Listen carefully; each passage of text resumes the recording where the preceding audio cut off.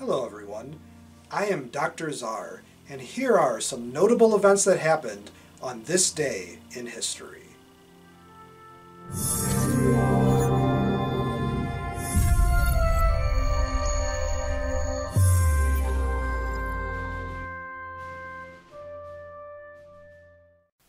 On November 25th, 1120, a ship sailing from Normandy, France to England hit a rock and capsized, quickly sinking and taking everyone aboard, save one, to their deaths. On November 25, 1864, a group of Confederate Special Forces operatives attempted to burn down New York City by starting fires in a plot orchestrated by Jacob Thompson, Inspector General of the Confederate States Army.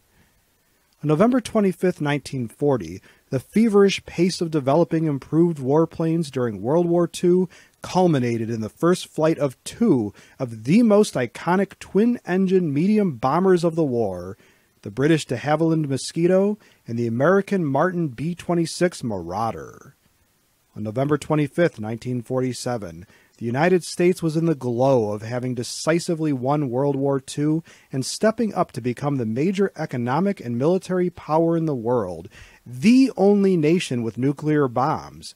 But the Soviet Union, USSR, had built a gigantic military force during World War II and proved to be a problematic ally after the war by scooping up as much territory and installing as many puppet governments as they could.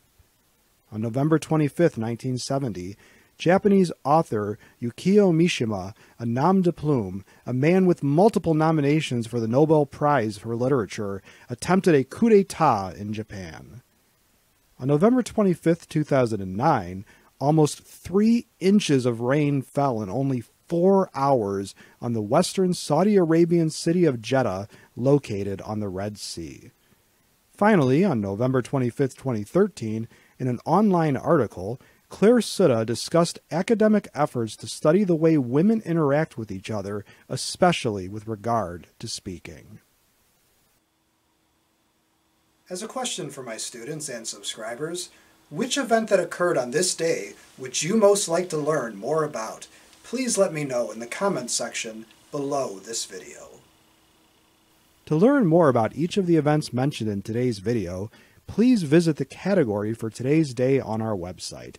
If you like this video and would like to receive notification of new videos, please feel welcome to subscribe to History and Headlines and to become one of our patrons.